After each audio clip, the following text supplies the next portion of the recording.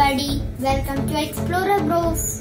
Today we are going to make the lemon battery.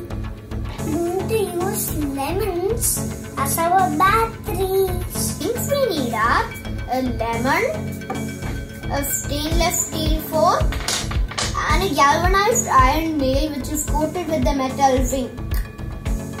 We are also going to use electrical wires and an old digital watch. We have cut the lemon into two halves so it's easier to pierce it. And we have also connected the wires to the watch's positive and negative. Now let's build the battery. Let's insert the nail and the fork in the lemon.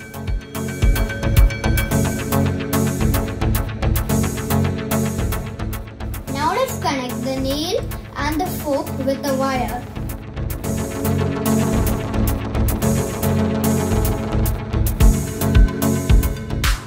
Now let's connect positive to the steel fork and negative to the nail.